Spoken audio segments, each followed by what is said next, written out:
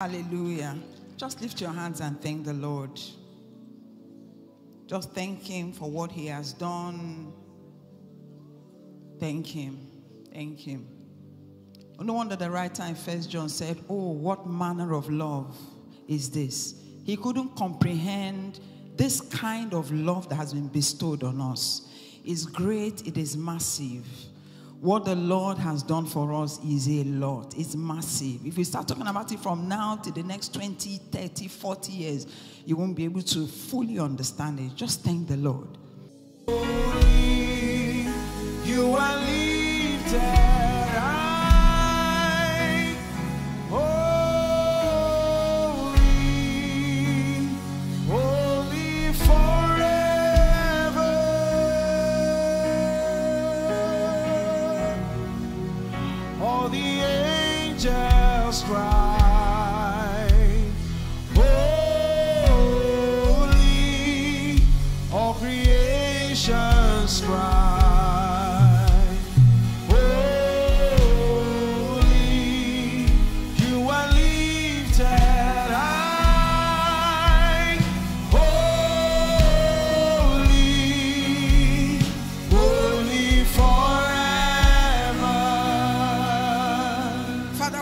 we you. We give you great praise this morning. All creations bow to you, Lord. Your name is the greatest. All powers, all throne, all positions, all authority, Lord. You sit on it all. Thank you, mighty God. Thank you, great King of the universe. And the amazing thing, Lord, is you've transferred all of this to us, your very own children. You've called us your children. We are beyond grateful. Thank you. Thank you. Thank you, Lord. Thank you, Lord, for this retreat. What you're doing in our lives, you're changing us on a daily basis. We are very grateful. Thank you. Thank you, mighty God, Spirit of the living God. Thank you for being here. The Bible says that you're our teacher, you're our instructor. We open up our hearts to your Holy Spirit. I ask tonight for understanding. I ask this morning for revelation. I ask this morning for light. Let revelation be an atmosphere in this place. Let it be the air that we breathe, Lord. Let understanding be the atmosphere in this place. In the name of Jesus. Thank you. Let no one be locked out of light. Thank you, Father. We honor you, Holy Spirit. I thank you. I trust you for help today. In the name of Jesus. Amen. Hallelujah. We give God great praise. Amen. All right, let's take our seats. In the next few minutes, I just want to share, um, just pick it up from where Pastor Fred stopped. We'll look at a few things today and then move you from point A to point B. Well, you've already moved from point A to point B, and we've been blessed in this retreat, right? God has been doing amazing things since last night, and He's going to keep doing. He's going to get better every single session. You know, the truth is that the greatest attack on your life, the greatest attack on the church as a whole and on your life, the greatest of all the attacks is not your finance. The greatest attack is not your health. Even if you're sick, you have, I don't know what the disease is, cancer, whatever it is, that is not the greatest attack. The greatest attack on your life is not your marital attack. Maybe the devil is after your marriage, whatever. That's not the greatest attack. No, all of these things are not, they are nothing. They are the minutest of problems on planet Earth. The greatest attack on the church and the greatest attack on your life, you need to know what it is.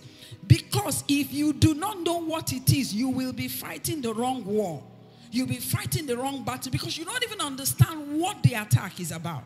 So you have to understand the Bible tells us that we wrestle not against flesh and blood, all of those things. We already know the scripture, Ephesians chapter 6. But what is that particular? What are those things? What are they wrestling? They are not after your money, they are not after your car, they are not after your destiny, they are not after the things you think they are after. That's not what they're attacking. The greatest attack on the church and the greatest attack on you is one thing only from that major thing, from that thing that the enemy targets, he cannot have access to every other thing. So if you're able to stop that attack, the main attack, you automatically stop all the other things. So the major thing that the enemy is attacking is the, the Bible calls it, Jesus told us, is called deception. That's the greatest attack on the church, is the greatest attack on you. What is deception? Let me help you simplify. Deception is an attack on the thinking process. Deception is an attack on your mental pattern. Deception is an attack on your belief system. He goes after your thought process, he goes after your belief system. And you know, this sentence won't be so serious to you until you realize that the entire Christian faith, your walk with God, is based on your belief system. The Bible tells us that we walk by faith and not by sight. In other words, everything we are doing with God, we have to believe things we cannot see. In other words, we have to believe God from a place of the mind. Your mind has to believe God, your spirit has to believe God. For instance, we say God is here, but you can't see God. So, what the enemy does, first of all, is to target your belief system. That's the first thing he does. He targets your thinking pattern. He targets that area. The moment he has access to your thinking pattern, the moment he has access to that area, your belief system, your faith life, he has won the battle. The moment he does that, then every other thing is a walkover. That is the first attack, and that's what we're going to take a look at in the scripture. And actually, for the enemy to be able to accomplish this fact, he had to go through a transition. Maybe we should look at uh, Revelation chapter 12. That would be a good place to start. Let's Revelation 12, let's look at verse 9. For him to be able to succeed in doing this attack, he went through a transition. The way we met him in Genesis chapter 3, which is when we are first introduced to the enemy, is not the way we meet him in Revelation. The man had grown. He had gone through a transition and is all dealing with the same thing. So the Bible tells us in this scripture, he said, This great dragon, the ancient serpent, he's telling you a transition has occurred. He said, In the past, he started as a serpent. But as we're meeting him now, the Bible says he's a great dragon. The same man that was a serpent in Genesis 3. So that's what they explained to us. They said, This great dragon, in case you are confused about who he is, he's the ancient serpent. So he started as a serpent, mild, small. You know what a serpent is? But the Bible says that he kept on increasing and he got to a point where he became a dragon. The Bible said, in case you are still confused, he's called the devil or Satan. And then he goes on, he said, the one deceiving the whole world. So his number one purpose is what? Deceiving the whole world. He said he was thrown down to the earth with all his angels. Let's see what happens in verse 10. So he says to us, he said, Then I heard a loud voice shouting across the heavens, It has come at last, salvation, power, and the kingdom of our God, and the authority of his Christ. Why? He said, For the accuser of our brothers and sisters has been thrown down to the earth. They're talking about the same person. They said, The one who accuses them day and night. Now, did you see the transition the, the, the, devil made? First, he was a serpent, he became a dragon. Number one. The second transition is, first of all, if you read the one we read in, in verse 9, he said he's the one that deceives the whole world. But then the Bible now says he's deceiving the whole world, but now he narrowed his deception to the church. He narrowed his attack to the church. He started with the whole world in chapter 9. You see it there. And then when he gets to 10, he's now not dealing with the whole world, he's now dealing with the church. He said, the accuser of the brethren, not the accuser of the whole world. He's first target the whole world, but he's particularly looking at a set of people called the church. He said, This one, these are the ones I'm targeting. My main concentration is on these people. My attack, my specific laser, whatever, is on these guys called the church. Yes, I'm doing something in the whole world, but my laser focus is on this group of people. Question why? And then why is it that he feels the need to do this attack morning and evening? Why is it that his major concentration is deception? And when he comes to the church, the Bible says he does it what? Morning and evening. He's telling you that the main problem is this deception. The main problem is an attack on your thinking process, just like what Pastor shared with us. The first son had a thinking problem. There was an attack on his mindset. Everything belonged to him. But he didn't know. And let me tell you how the things of the spirit are. hmm? Nothing is yours until you understand it. Even if that thing belongs to you, you will never have access to it until revelation comes. It won't happen to you. It might become yours, but until light comes. You see all these things we are saying. hmm? The problem is not that you don't have money. The problem is not the, your grandmother in the village. The problem is not an ancestral cause. The problem is lack of light. Let me explain something to you what Jesus said. Matthew 22. Jesus said, You don't have two problems. The main problem is one thing. And let me tell you what the enemy has done. He's done an applaudable job. If I when I sit and think about it, I'm like, this man, we should even clap for you. Do you know what he has done? He has made us lose focus. He has made us think the problem is something else. He doesn't want you to know what the real problem is because he knows if you know what the real problem is, you will deal with the real problem. So, what he does is he knows what the real problem is. He knows the real problem is lack of revelation. He knows the real problem is lack of light. But he'll make you think the real problem is your grandmother in the village. So you are fighting her. He'll make you think the real problem is that there's no money in the economy. So you are running after that one. He makes you think the main problem is that there's sickness everywhere. He'll make you think the real problem is every single thing except what the problem is. He doesn't want you to know that the problem is just that you lack revelation. That's all. If somebody is sick or somebody is harassed by Satan, hmm, those things are not the problem. What you hear Pastor make sentences like, if I'm sick, don't pray for me. He said, Don't pray for me. What should you do? He said, Just remind me who I am. Because that's the problem. The problem is not that you are sick.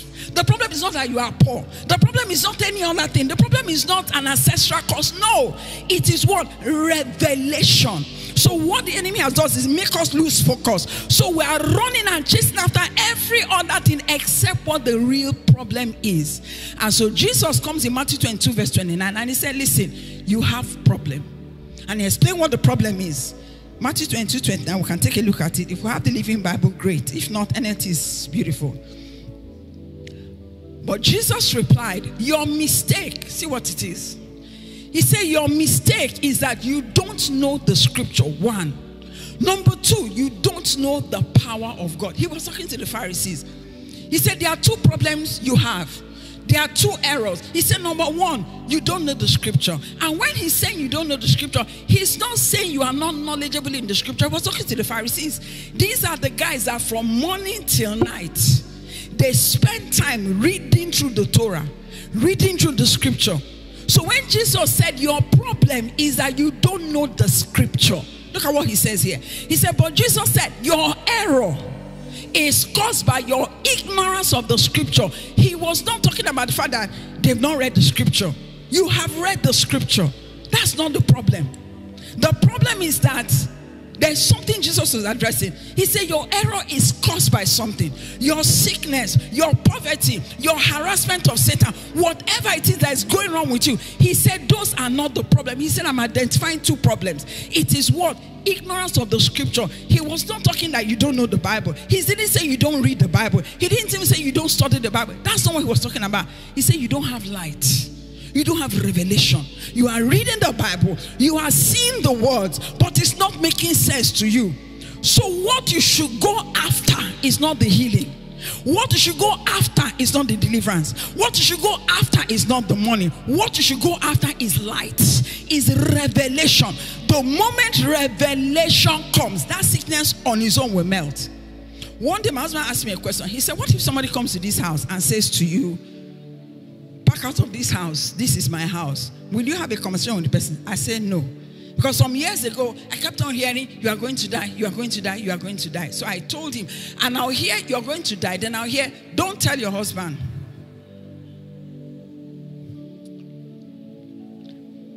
So I told him, He said, Let me just ask you a simple question. What if somebody comes to this house, knocks on the door, and says, This is my house. I want you to pack out because I want to pack into this house. Are you going to have a conversation with the person? I said, No. He said, Why? I said, Because the house belongs to me. I know. He said, What if the person said, No, this man is my husband? Will you be arguing with the person? I said, No. He said, Why? I said, ah, I know who my husband and I know my house. He said that is the exact same way the devil does not own your life. He cannot dictate when to take your life and when to give you life. All you need is revelation of who owns your life. From that day, he said it. That was the end of the voices. He just died a natural death. It's just light, it's just revelation. Sicknesses drop off you the moment light and revelation comes. So, what the devil has done is he has put your attention on everything else. You are praying about everything else, fasting about everything else. Why you should be asking, Lord, give me light, give me revelation, not just the knowledge of the scripture. The other one, he said, You don't know the power of God. You've seen it, but you don't know the power. You don't know what this power can do. You do not have light about the power that you carry. How can I be carrying God on my inside? And yet, I'm subjected to the forces and the elements. So Jesus said, You don't have revelation, you don't have light in this area. What do you think Paul was asking when he said in Philippians chapter 3, verse 9? He said that I may know him what was he asking for? What he was saying, give me revelation, Lord. I want to have a revelation of who Jesus is. I want to have a revelation of what he has done. Let's look at that scripture. See, he said, I no longer count, he said, and become one with him.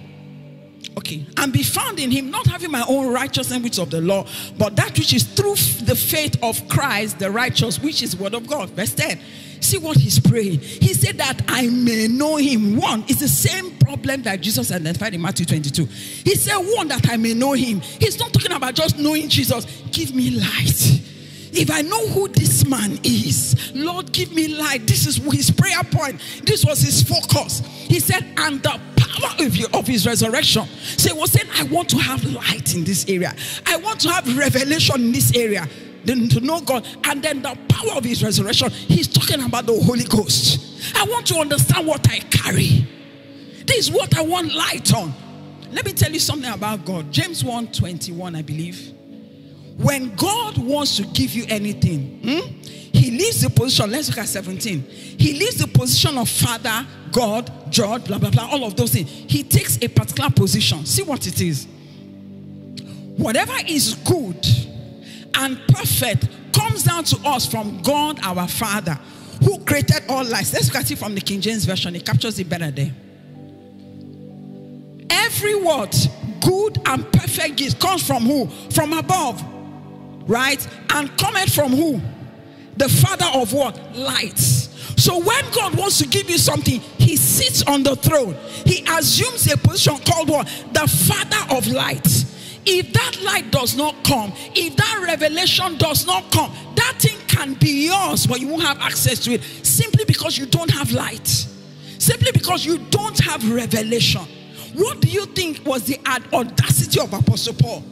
Excuse me.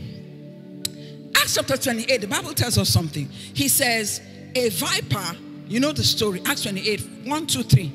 A viper, a, a, a, a, viper, how do I describe a viper? A really poisonous snake. It bites a man. The Bible says he did not pray, he did not fast, he did not shout. That viper attached himself to his hand. And the Bible says he simply shook it off. You know what it means that the snake fastened his hand? He put his fangs in and emptied all the venom inside of him. How come that venom? Biology proves that venom will kill you. Experience proves that venom will kill you.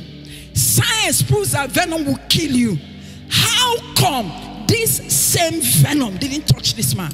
How come he didn't pray? Simple. He had light. He had revelation. That's why Apostle Paul said, I stopped knowing any man after the flesh, including myself. If you look at yourself after the flesh, let's look at that scripture, First Corinthians chapter 5. If you look at yourself after the flesh, you'll be deceived. You think you are a normal man. You think you are the same. I was telling them yesterday, I says here, eh, when somebody comes to give his life to Jesus, he comes to the altar, Lord Jesus, Lord Jesus, come into my heart, come into my, be my Lord, blah, blah, blah. You make all of those prayers. You think the person that goes to sit down is the same. He's not the same. Something has changed. He's a new creation person.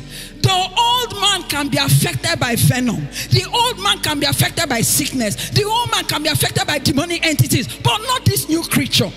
They say he's a new creature. Something else has occurred in the inside of the man. On the outside is the same, but on the inside, something has changed. But that man needs to realize it. If he does not realize it, what happens to the old creation will still happen to him. Look at the scripture. He said, Therefore, from now on, we regard no one according to the flesh. We'll read this and we'll read NLT version. He said, Even though we have known Christ according to the flesh, we now know him. We don't know him like that anymore. Let's look at how he puts it in NLT. He says, So we have stopped evaluating others from a human point. Stop evaluating yourself from a human point. You know what it means to evaluate yourself from a human point? You think we're all the same.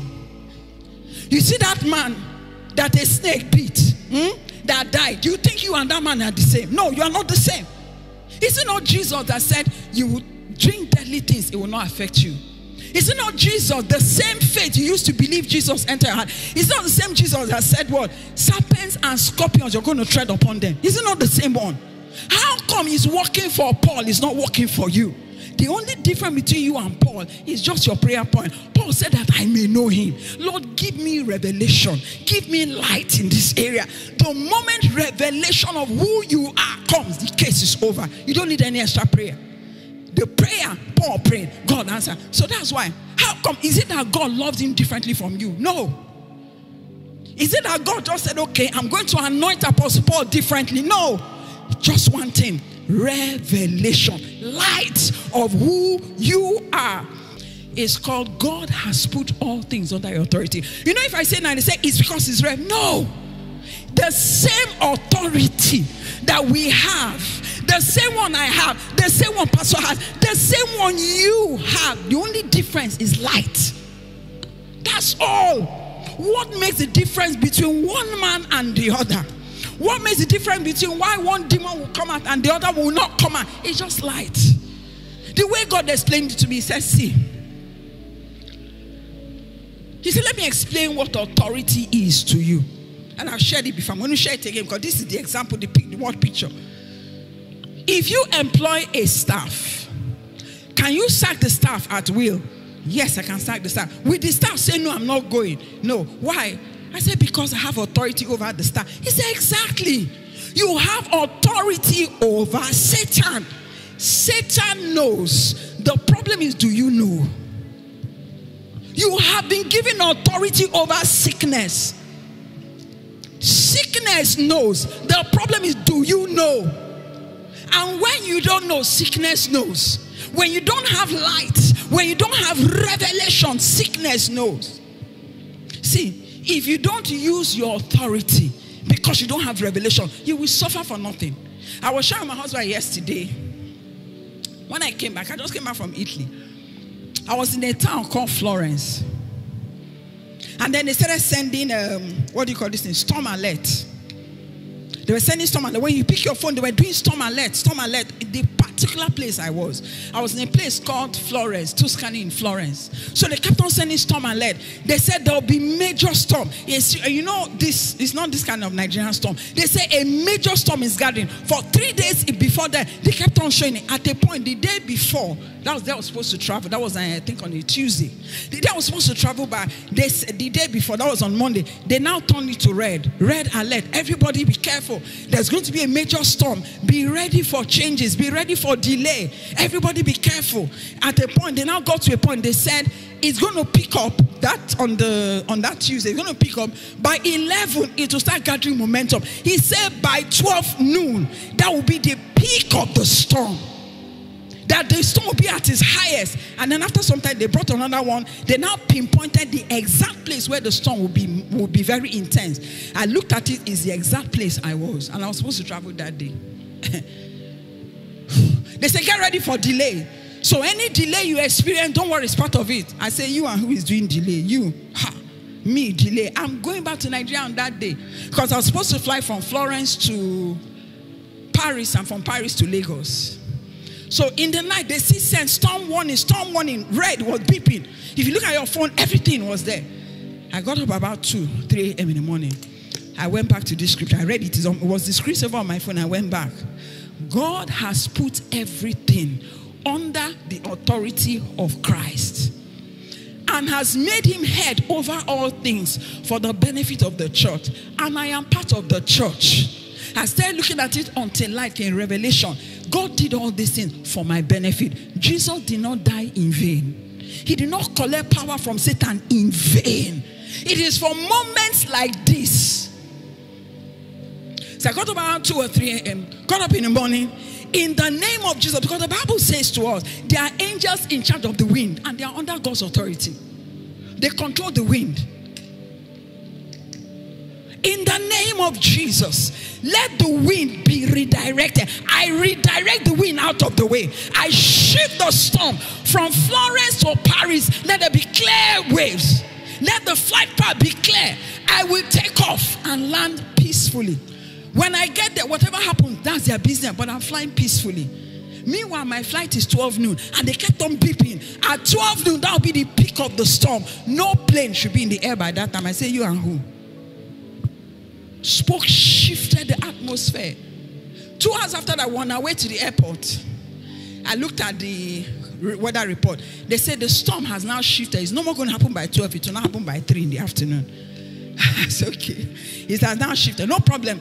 We got on the plane, we flew safely, very peacefully, landed in Paris. When I got to Paris, somebody called me that was in Florence. She said, Where are you? I said, I'm in Paris. He said, Did you travel this morning? I said, Yes. He said, Well, I'm telling you because the airports have been closed for the next three days.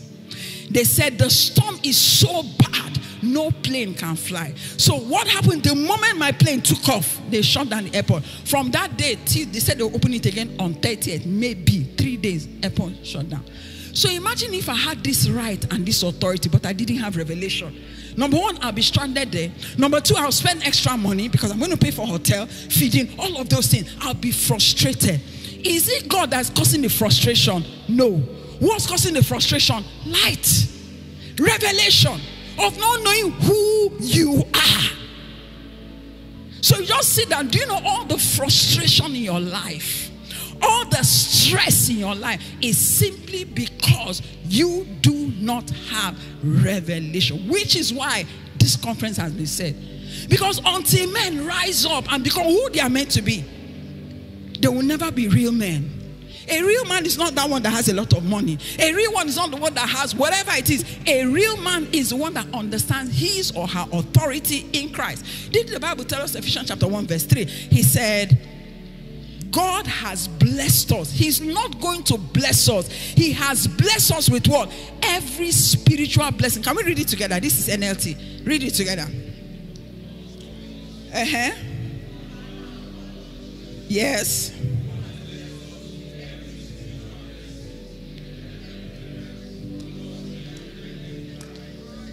Do you know what it means? You are united with Christ. Even this one, I'm still trying to digest the reality.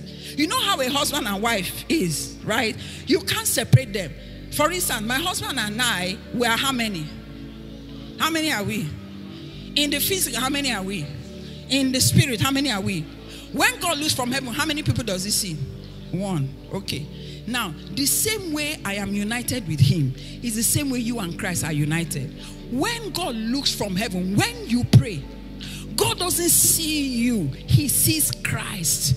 That's why in First Corinthians chapter 6, verse 17, there's something the Bible said. He said, Anyone that is joined to the Lord is what? One spirit with him. You are not two spirit, one spirit. You are married to Christ. You are united with him. So I said, anything that cannot affect Jesus cannot affect me.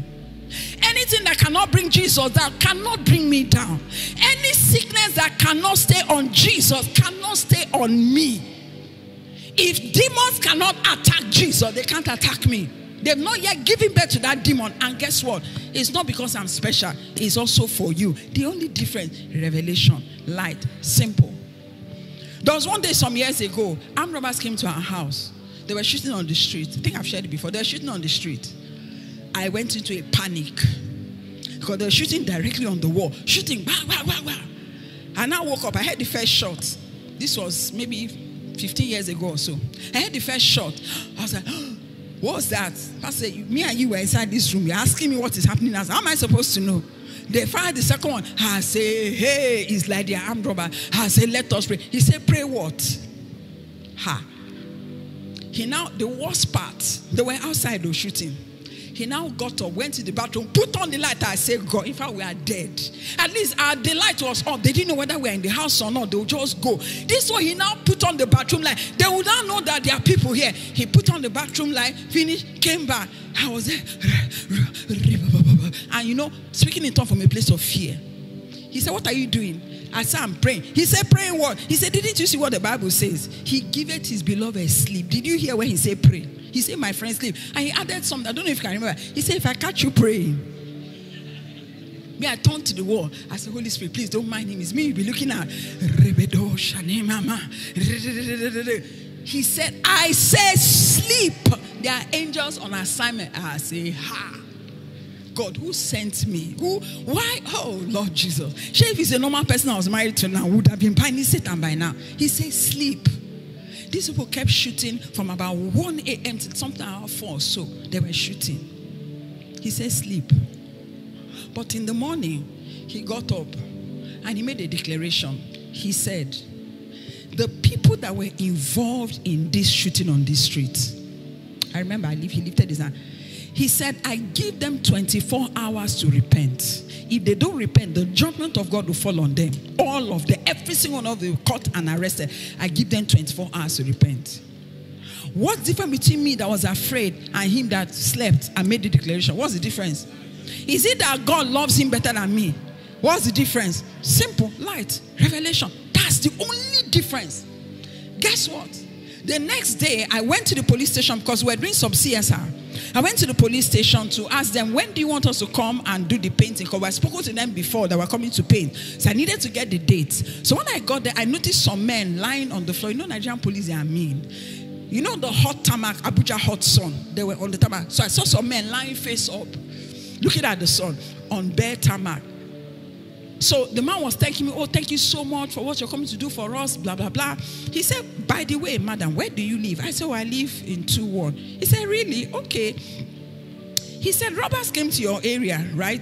I said, Yes. How do you know? He said, Ah, did I see those men outside? I said, Yes. He said, They went to rob early this morning at Maraba and they were arrested. I said, How do you know they are the same ones that came to our house? He said, Because when they were questioning them, they said they had robbed the night before at 2 1 and they gave the description. That's around where you live. I said, It's not just around where I live, it was my street they were robbing. It's okay, they were arrested early this morning. That was exactly 24 hours after that injunction was given. So this was not the next day. So God actually gave them 24 hours to repent. They didn't repent. The police were empowered to catch them because these words were released in the air. Angels went ahead to carry out that thing. Can I ask you a question? Could I have done that declaration? Would it have worked?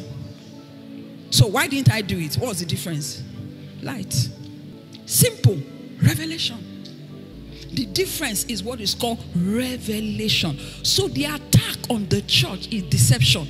They make you feel you are less than you are. And so the next thing the devil does, the only way, remember what we read in Revelations 12 as I begin to round up. Remember what they told us in Revelations 12, 10 and 11. They said He deceiving the whole world, but when he came to the church, there's something else is adding to their deception. The Bible says he's accusing them day and night. Why is he accusing the church day and night? Because the devil understands the scripture that the foundation of the throne of God is righteousness, it is justice. So he goes to make accusation before God. He reports you to God. So that God by himself will punish you. So that God by himself will say, okay, sin has occurred. Therefore, there's nothing else I can do. The protection is lifted. That's why he goes to accuse you. The devil cannot touch you without permission. The realm of the spirit follows a very legalistic way. So that's why he goes to do what? Accuse you morning and night. So the Bible said there's a way they overcame him said they lifted up the banner of the blood of Jesus. This is what they did. That's why Jesus shed his blood. So whenever there's accusation, so there are many people that they've opened their door to sickness, disease, harassment of Satan because the accusations were through. They got involved in sin.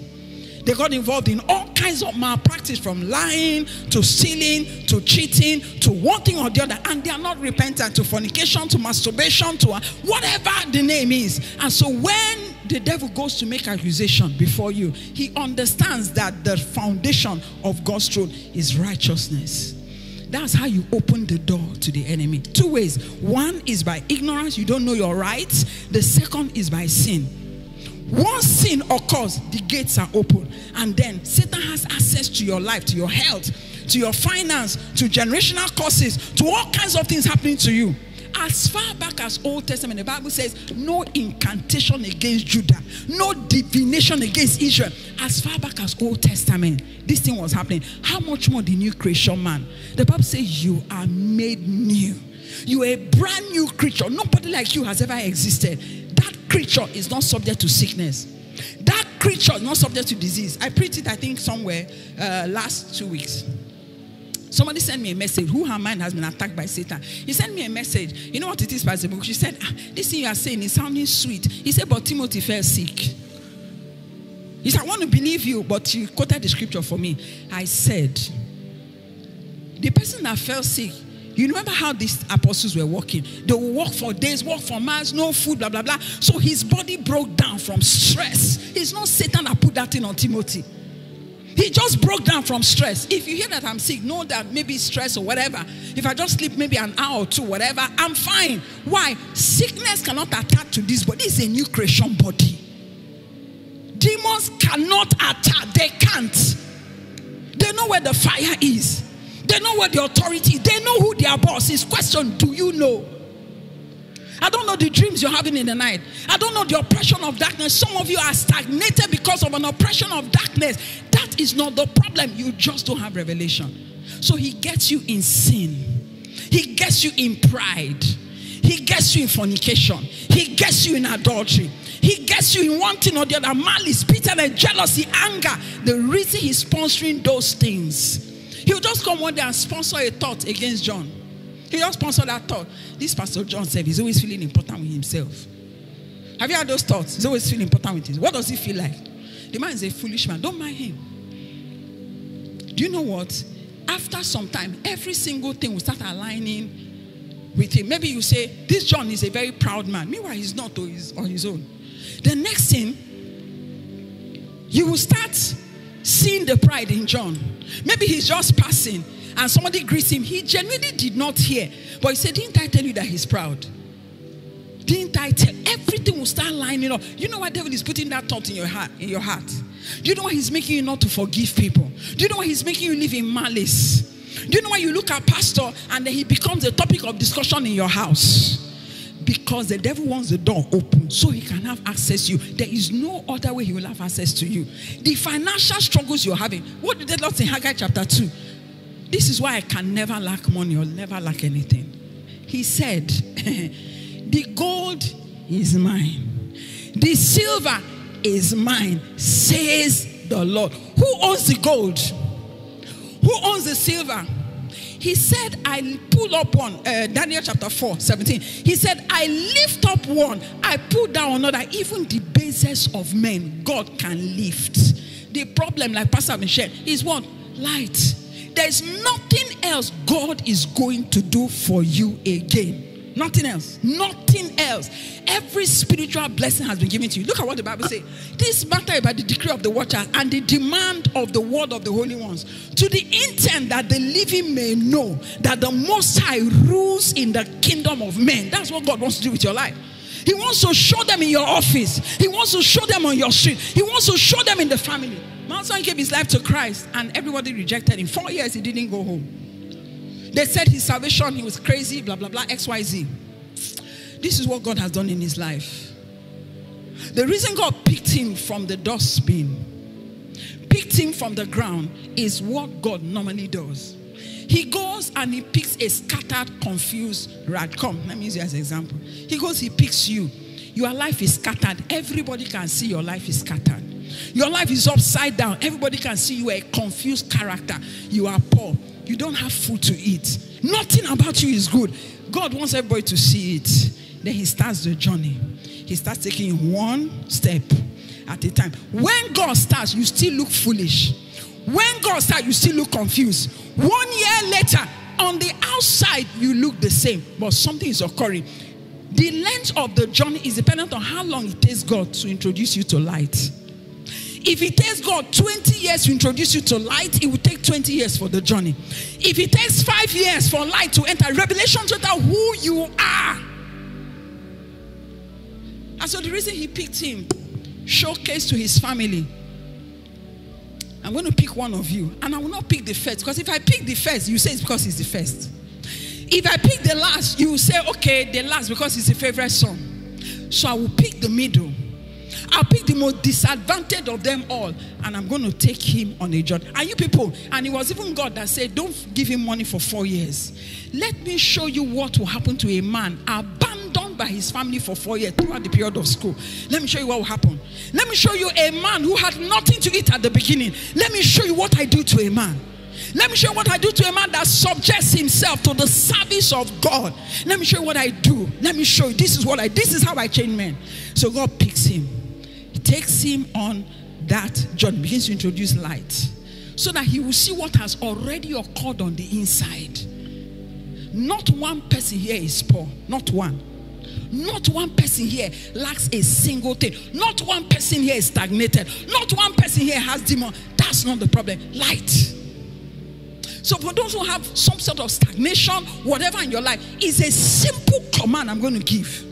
Because once light has entered, that's all. So this is what God does with every man's life that walks with him. He picks you. He says, so that this is what they watch at these are angels. He said, by the demand of the Holy One, he said to the intent, in other words, this is the purpose of God, that the living may know that the Most High rules where? In the kingdom of men. God rules, not the president. He said, and gives it to who? Whosoever he wills. Excuse me, if you were God, who would you give the kingdom to? People that are living in sin or your own children, your own sons, your own daughters. It's only an irresponsible father that will have means and give it to orphans. Your father is not irresponsible. Everything your father owns belongs to you. So this is what he has done. The Bible says to the intent that what? Then what does God do? He sets up one, he puts another. And the Bible says he gives it to the basis of men. If God said, I give it to the basis of meaning that the limitation God has is not that you are base. If you like, be the smallest. If you like, be the most confused. If you like, be the most stupid on planet Earth. It's not a limitation for God. The only limitation is here light, revelation. One. Second one is sin. I want us to get on our feet tonight. I don't know if you want God to shift something in your life and in your destiny. Because there are powers and there are forces. Their job is to frustrate you from moving ahead. You function on this earth, you function in this life. There will be powers that will say you can never move forward, you can never rise. The only two ways they have they succeed one is sin, and I'm going to lead you in repentance. After that, we're going to give quick notice to any power or any demonic entity or whatever it is that is your life, that is your destiny, that is harassing you. If you have a sickness, if you have a disease, whatever it is. Someone came to me, I think it's last week or so, and she was telling me, she said, Oh, the doctor said they are suspecting cancer. She told me on a Sunday morning. I said, okay, no problem. I said, cancer, they will not find. You're going to go back for the test. One drop of cancer, they will not find. That's that lady. I was that one.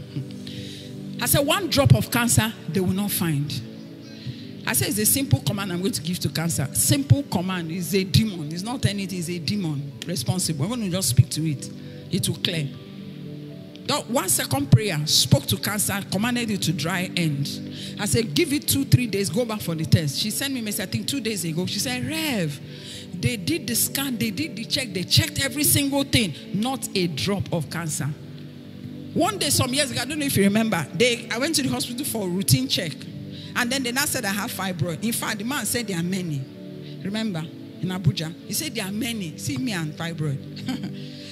They said there are many, they're all over. Said, in fact, the man put it this way. He said, What are you doing about your fibroids? I say, Me, fibroids. He said, Yes, there are many. They're all over your stomach. There are so many. Wow, what are you doing about it? I said, I'm not aware. Have I said, You have.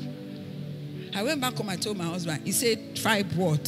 He wasn't, we joined hands in prayer. It wasn't even up to, I don't know whether that prayer was up to two minutes. I even forgot all about it. I didn't even refer to it again. A year later, I went back to the same hospital. And I remember, I said, Oh, yes, that's true. These people say I have fibroid. I said, and uh, it was another person checking me. I think I was pregnant, then they checked. I said, Okay, please check for the fibroid. They said, Fibroid. You don't have fibroid. I said, But you people said I do. He said, No, they couldn't have told you that. There's not a drop, there's not an ounce. You know why? Fibroid cannot stay. Can, it wasn't a problem. it wasn't an issue, it wasn't anything. It wasn't anything. We use the power of agreement. If you are married here, eh, there is nothing more powerful than agreement between two people that are united. Nothing more powerful. We just held as an agreement. That thing can't stay from where, how, why. Hallelujah. So I don't know if you're here, there's a sickness. If they like, let them say the sickness is, I don't know what they're going to call it, that sickness. you know, we used to look at John G. Lake and we say, wow, John G. Lake, he had bubonic plague. Remember, John G. Lake, there was uh, something called bubonic plague, right? And uh, John, people were dying from it. And John G. Lake would put bubonic plague in his hand, and the thing would die in his hand. And I thought it was such a big, I was like, wow, this testimony been giving. And then COVID season came. We had a meeting. People in that particular hall, I hugged because we're about 40 or so. I hugged everybody minimum of twice because I got a gift for every single person that came there. And then the moment I entered, everybody came one by one by one to hug me. How do you hug people? Tony, I come. This is the kind of interaction I had with everybody there. Were you in that meeting? Do you know the I'm talking about? Okay. So, oh, oh my goodness. So you see, there's interaction. Oh my God, how are you? And we hadn't seen for how are you? Okay, I did this to every single human being that was in that meeting. Then the second time when I was now giving them the gifts I got for them, the second interaction. Guess what? This was happening on a Sunday, I believe. By Monday, the first person called me. He said, I started feeling funny. And I went to check. I have COVID. I said, eh.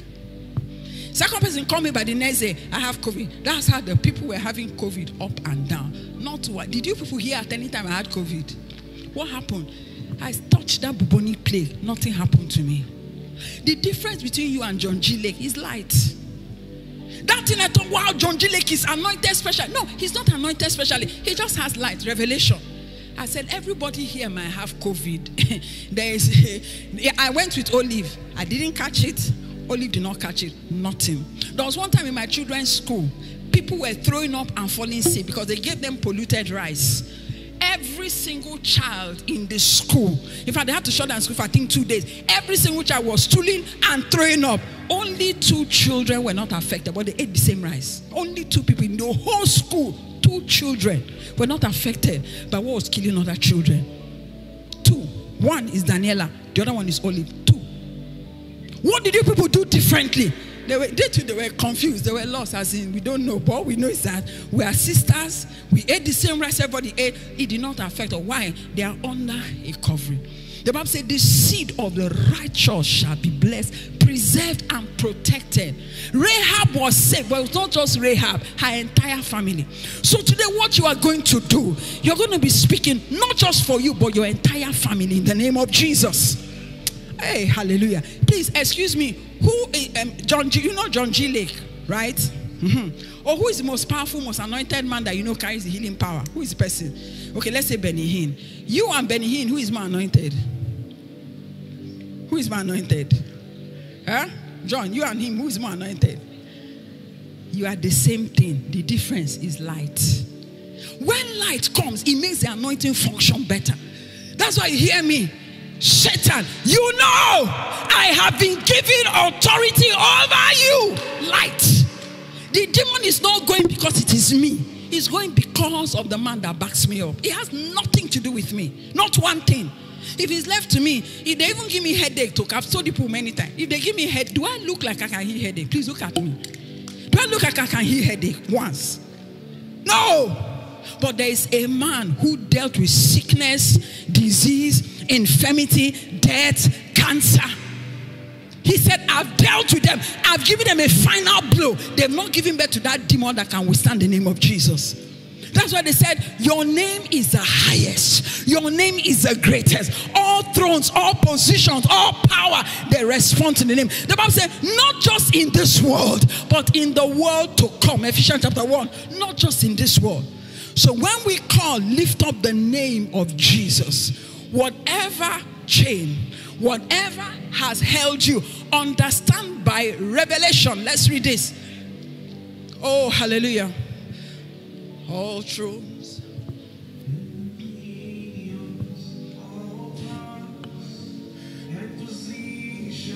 Your name. We're going to read this soon. Stands above them all. All the angels cry. Holy. Thank you, Lord.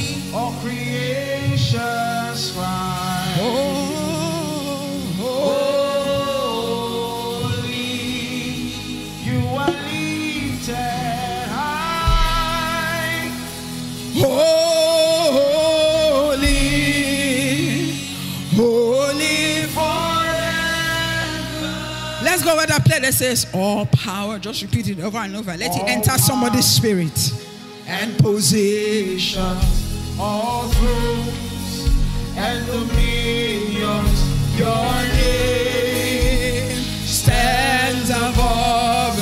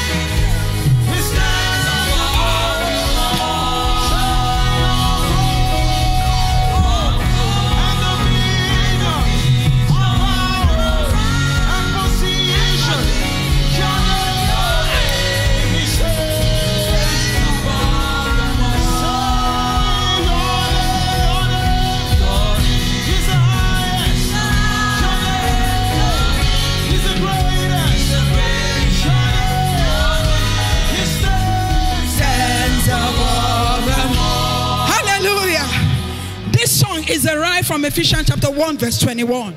They put it in song form so that you will always remember. All thrones, all thrones of sickness, thrones of disease, thrones of ancestral curses, thrones of generational powers all dominions, all might, all power, all sickness, all demons, from the beginning to the end, all witches, all wizards, all projections of darkness, all cancer, all of them, they respond to one name. It's not about anybody, it's about the name. We're going to read it in the scripture. We read this and then we read it in NLT version. Oh, hallelujah. Let's read from verse 20, but NLT version. He says that raised Christ from the dead. Let's even pick it from 17 so you get a full picture of what the man was saying. The moment he had, pick it from 16 so you understand where this came from. He said, okay, let's pick it from 15. Permit us to take from 15. He said, Ever since I heard of what? Your strong faith in the Lord. One, two, and the love for God's people everywhere. So, the meaning that the moment Mercy got born again, this is the prayer point for them. If you want them to walk in dominion, if you want them to walk in victory, this is what Apostle Paul did. That's when he plants a church, two years. Two years he planted in the whole of Asia Minor. It took him two years for the gospel to cover. This is what he was doing to the people. This is what he did to them. He wasn't praying, oh God, give them shoe and bag. Oh God, give them contract. Oh God, give them job. No. He said, I have not stopped thanking God for you, part one. And I pray for you constantly. King James says, I pray every day. What is the prayer point? Asking God for mercy. The glorious Father of our Lord Jesus Christ to do what? To give you spiritual word, wisdom, and insight. Pause. Let's look at this 17 in King James that will come out to NLT. That the God of our Lord Jesus is prayer point oh, for new believers, the Father of glory, may give unto you what? And what? Revelation. What is he asking in essence? Light, light, light. Give them light. Let them know who they are. Because if they don't know who they are, they'll think they are the same. They'll think they are still the old creature. They will not realize that change has occurred. They won't realize that there's been a spiritual revamping. They've changed. The Bible said, Any man in Christ is a new creature. All things are passed away. The you that demons used to oppress, the you that generational causes used to oppress, is passed away. A new man emerged. In, in, in Romans chapter 6, let's not go there because of time. In Romans chapter 6, the Bible says you died. Mercy, you died. You don't exist. The old man died. Romans 6, they said the old man died. See, let me tell you something. Your old man does not exist.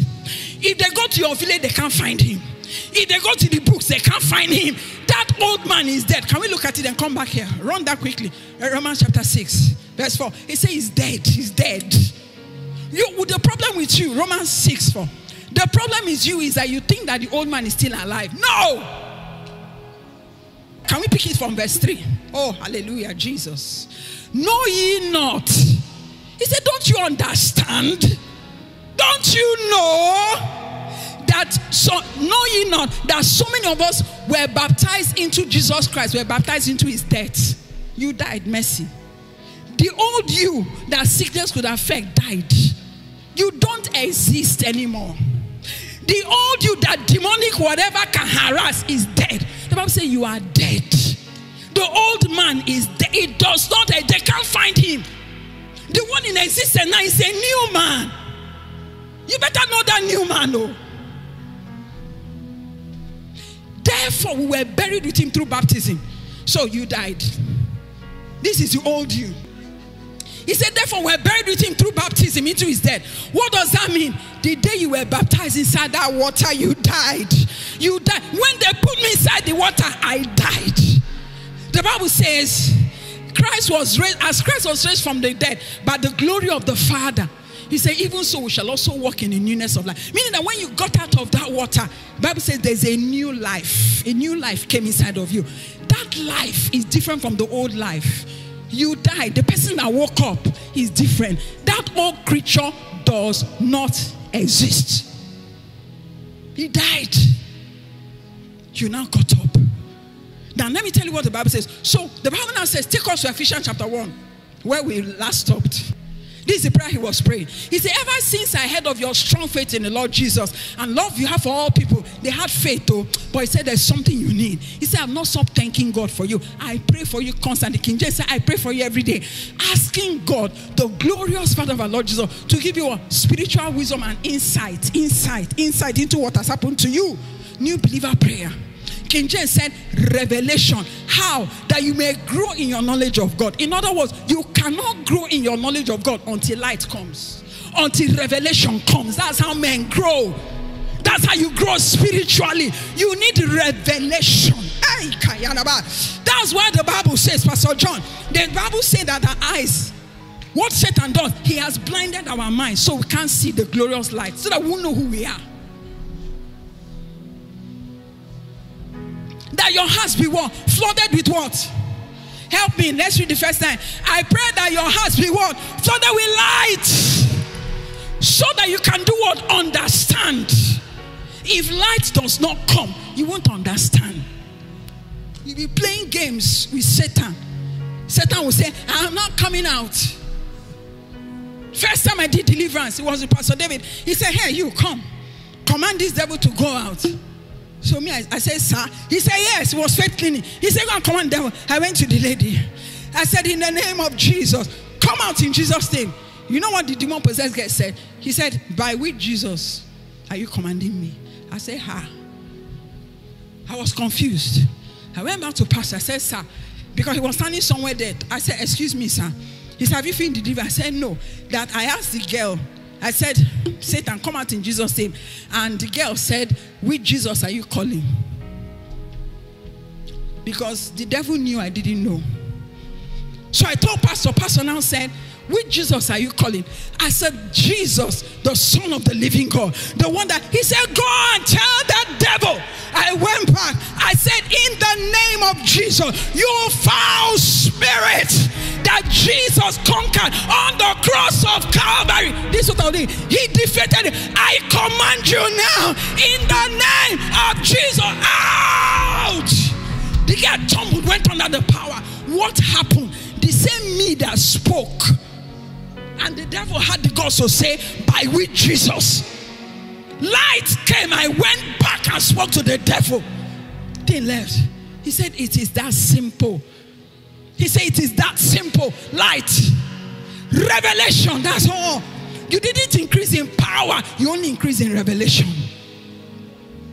So, I pray that I have be flooded with light so that I can understand the confident hope that God has. God has hope in you. The hope of Lekki is you.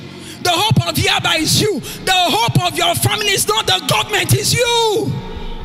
Your family will die of poverty and in penury. Some of you generational curses have been there for years. It will stay there until you arrive. He said, God has hope in you.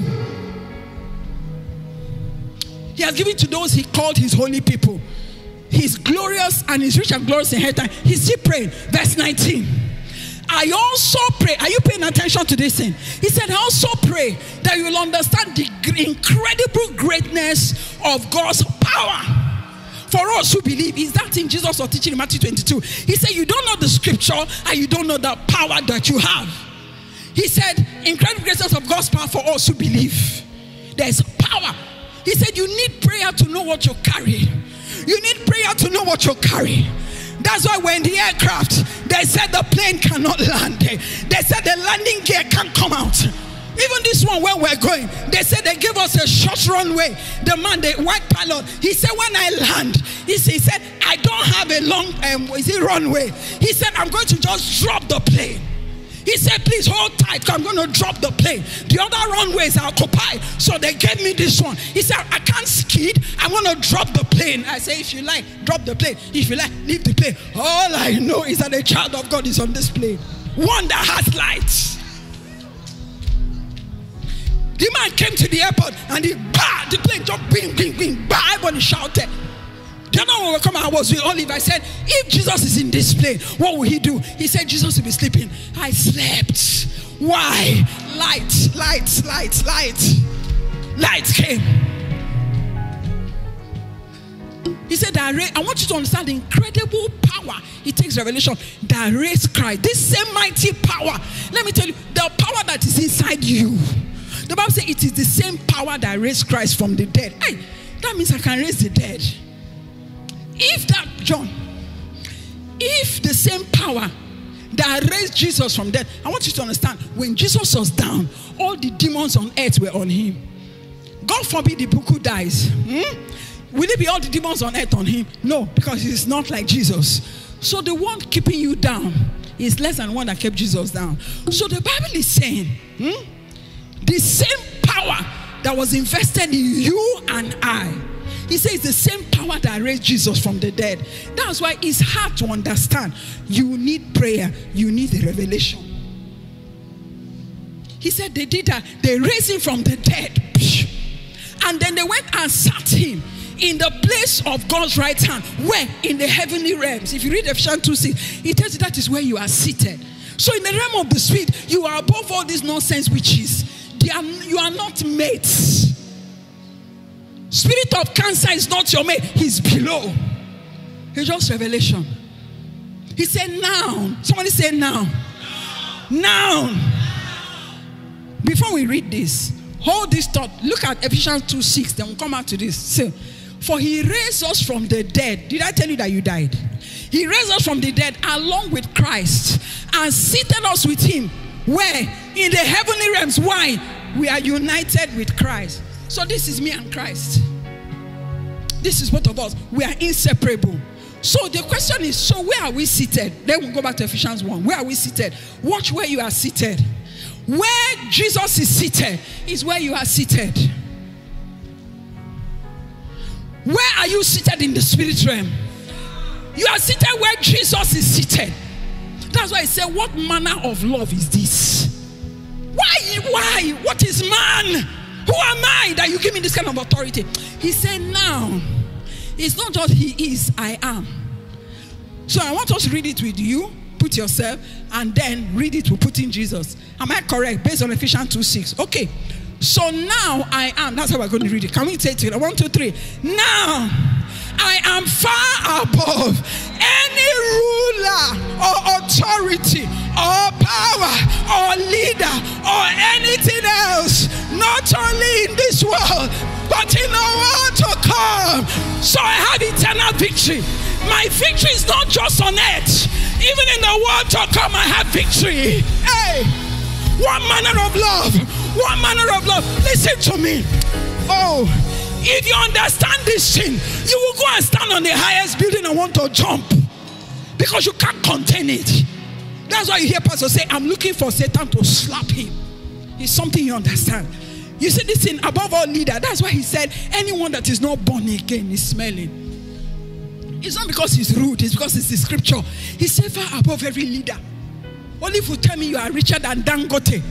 He said, Mama Cash, I said, me. And uh, he said, because Dangote doesn't have what you have. You have money in the account, but it's more than that. He said, you command angels. He said, your security, they are not human beings. Angelic security. He said, you can speak to storms and they will shift. He said, Dangote cannot do that. Now let's see where Jesus is. The Bible says now Jesus is what? Far above what? Any rule or authority or power or leader or anything else. Not only in this world, but also when in the world to come. God has done what? Put all things. Excuse me, is sickness part of all things? Is stagnation part of all things? Is poverty part of all things? Generational cause is part of all things? Bloodline is a part of all things? That people are dying in your village, they don't get to 40, is a part of all things? That people are poor in your village, they don't rise, is a part of all things? Blindness a part of all things? Yes. All things under the authority of who? Christ. And has made him what? Head over all things. For whose benefit? My benefit. For me. For me. For me. The love is too much. Uncle, where is Dauda? You, I just saw you. See as you are now. The difference, Dauda, yeah, come. The difference between your today. Where is your brother? Is it Alvin? The difference between that, I listen to me. The difference, if I like, let me give you $10 billion. Hmm? It will disintegrate back to your level. The only difference between where you are today and where you are going to be tomorrow is what? Who can help him? Light. You are not going to be rich. You are already rich. It's just the manifestation. It's just okay, Lord, I am already rich. What do I need to now do in the physical? If you don't have light, if you like, do all the business on planet Earth, you see, God will use you as an example. You see that scripture, Daniel 4 17. As you are serious with God, God will use your example. I'm going to bring them back again two years down the line. I'm going to show you. So uh, I can take their picture as they are. They've even improved. You should have. Do you have their former picture? Because two years down the line, we'll see you pastoring a church,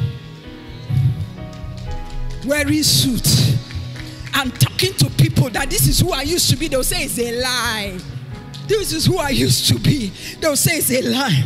But look at what the Lord has done. See what the Lord has done. That's one say, see how far you have brought me. The other one say, hey, say, bube, see how far you have taken me. That will be your story. As you keep following the Lord, going after light, going after revelation. The moment he enters, the physical transition will occur. Oh, hallelujah. Oh, thank you, Jesus. So we're going to issue a command. Simple. Who needs something broken out of their lives tonight? There are three prayers. Number one, prayer of repentance, where you have sinned where you have broken the hedge, where you have made a mistake, there's blood. Just ask for mercy. Because there are people here, you've put your hand in juju, you've put your hand in drinking, you put your hand in cocaine or whatever it is they call it drugs, ice, all of those things. Some masturbation, some anger, some bitterness, some pride, some adultery. I don't know what it is. But the Bible says Satan accuses you. But there's blood, there's blood, there's blood. That's the first prayer. The moment you bring the blood and say, Lord, have mercy, forgive me. The moment you bring the blood of Jesus, that thing's taken care of. That thing's taken care of. He said, What amazing grace! What amazing grace! Hi, and I'm a sobred. And if perchance there's anybody here, you are not a child of God, you have not received Jesus as your Lord, as your Savior, this is the time to do that. If you want, you can come to the altar. Oh, thank you, Jesus. I want to just talk to Him. Whether there's sin, some of you lukewarmness or whatever has occurred in your life, just say, Lord, have mercy. But if you're here, you are not born again. I'm not going to take you for granted that you're born again. If there's anybody here that not received Jesus, this is the time to do that. But this prayer is for every single one of us. Just pray, say, Lord, have mercy. Some have been involved in incest. Some have been involved in raping people. Some have been involved in abortion. Some have been involved in one thing or the other. I want you to get it out of the way. Say, Lord, I'm sorry. I'm sorry, I'm sorry, I'm sorry, I'm sorry, forgive me. Bring the blood of Jesus. This is how we overcome. Bring the blood of Jesus. Oh, Redabakaveno Shataya. Thank you for the blood. As it purges, as it purifies, as it cleanses us. Thank you, my Father. Oh, thank you, Lord. If you're out here, I want you to pray. Say, Lord, have mercy. Forgive me for my sins. Punch me with the blood of Jesus. Tell him to forgive you. He will forgive you. Tell him, cleanse me, touch me with the blood. I know that I've done things wrong. Forgive me. Wash me, cleanse me with the blood of Jesus. Thank you, mighty Father. We give you praise. Thank you, Lord. Thank you, Lord. Thank you, Lord. Father, I pray for him. I want you to say after me, Heavenly Father, I have sinned against you and I am sorry. Please forgive me. Wash me with your blood. Make me your child. Write my name in your book in the name of Jesus. Thank you, Lord, because I am your child. In the name of Jesus. Thank you, Father. In Jesus' name. Amen. Hallelujah. We're going to go to the second part of the prayer right now. Now we've gotten that thing out of the way. We're going to break whatever it is. But now you are breaking things not from a beggarly position, from a place of authority, knowing who you are knowing who you are. So you are not praying from down up, you're praying from heaven down.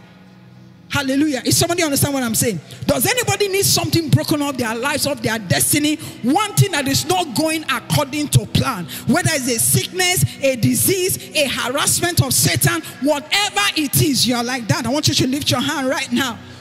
Look at what the scripture said. The Bible said, Now he is far above any rule, any authority. And then the Bible tells us in Philippians chapter 2, 8, 9, 10.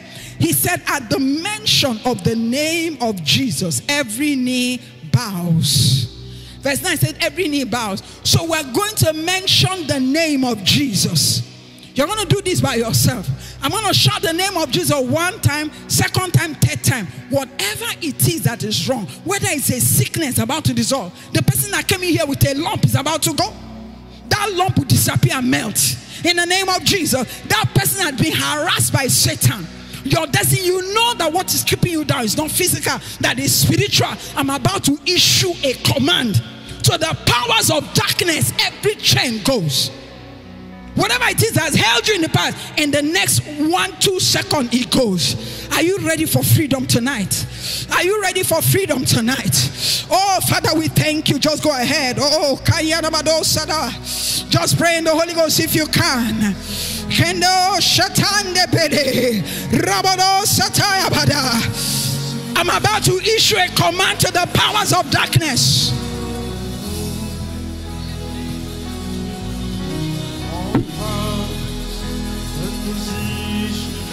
All thrones and positions, your name. Your name. Thank you, Lord. In the name of Jesus. I rebuke the spirit of sickness, the spirit of disease, the spirit of infirmity. I command you now in the name of Jesus, lose your hold of these ones and go now in the name of Jesus. Wherever there's an installation of sickness and disease, I command you in the name of Jesus. Be uprooted and go now in the name of Jesus. Tumor dissolve now in the name of Jesus.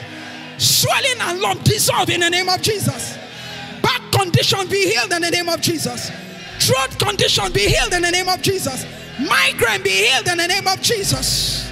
Your things are always getting missing. In the name of Jesus. You put in for things, it's always getting missing. I don't know who you are. Your things are always getting missing mysteriously. In the name of Jesus, I reverse that situation in the name of Jesus. Everyone under a curse, everyone that's been bound by the powers of darkness anyone under satanic bondage in the name of Jesus. I command the chains break in the name of Jesus. I command the chains break in the name of Jesus. Whatever is in your life that was not planted by the Lord, I command it be uprooted in the name of Jesus. Be uprooted in the name of Jesus. I declare you free in the name of Jesus where witches and wizards have harassed you, I command them to cease now in the name of Jesus. Everything has gone wrong in your life. I command a restoration in the name of Jesus. I break every chain in the name of Jesus.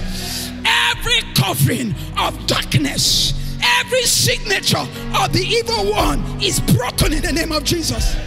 You are set free in the name of Jesus. Every stagnation is broken in the name of Jesus. Rise in the name of Jesus. Rise in the name of Jesus. Nothing can stop you anymore. Hey, if you have something that you're doing that is stagnated, I want you to speak life to it. Speak life, speak life, speak life. Speak life. Speak life. You are the master of creation. Speak life. You are the master of creation. You are a co-creator with God. You are united with Christ. Your words are as powerful as the words of Jesus. Speak life. Anything that you are doing that is stagnation, speak life. Speak life. I speak life to that project. I speak life. If it's your body that is dying, speak life. Anywhere dying in your body, speak life. Speak life. Come on, oh, Shada. If it's your marriage, speak life. If it's your business, speak life. And if it's your body, speak life. Come on, Anamasata. If it's your prayer life, speak life. Tell your prayer life to resurrect. Tell your prayer life, resurrect. Come on, Ama. If it's your walk with God, resurrect. Speak revival. Speak revival. Say revive corner. Uh, my soul be revived. My spirit be revived. Come and Kodo. You are no more under oppression. You are a creator with Jesus. Speak life. Oh, yaba, yaba, yaba. Call for things. The Bible said, God, call out the things that be not as though they are. Begin to call things that be not. You are a creator. Call the things that be not. Call them forth.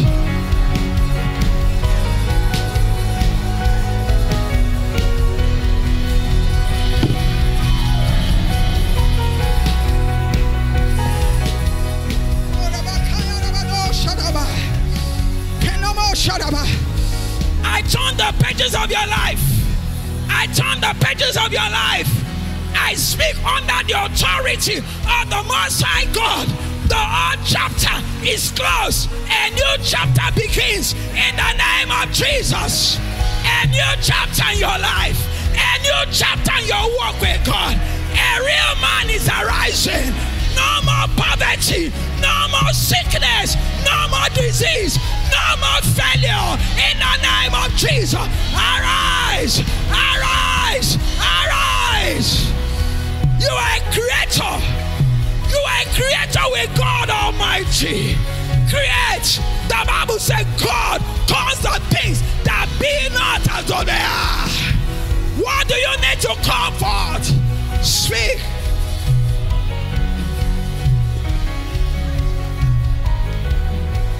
No more harassment of Satan.